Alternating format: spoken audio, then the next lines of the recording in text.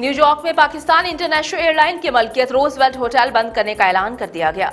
इंतजामिया का कहना है कि कोरोना वबा की वजह से होटल मौशी मुश्किल से दो चार है। इकतीस अक्टूबर से दरवाजे बंद कर रहे हैं। होटल बंद करने का ऐलान चंद घंटे बाद वेबसाइट से हटा लिया गया।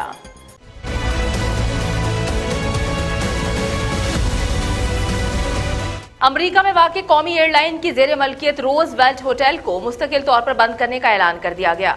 रिपोर्ट के मुताबिक होटल की इंतजामिया ने ऐलान किया है कि रोज वेल्ट होटल इकतीस अक्टूबर से मुकम्मल तौर पर बंद कर दिया जाएगा।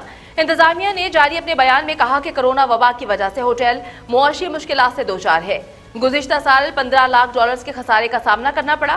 पाकिस्तान इंटरनेशनल एयरलाइन ने नब्बे की दिहाई में होटल रोज वेल्ट तीन करोड़ साठ लाख डॉलर्स में खरीदा था। रोजवेल्ट होटल का शुमार दुनिया के महँगे तरीन होटल्स में होता था, जबकि पाकिस्तान में इसे अहम और महँगा तरीन असासा समझा जाता था। पाकिस्तान तहरीक इंसाफ की हुकूमत ने होटल की निजकारी के बजाय ज्वाइंट वेंचर का फैसला किया है।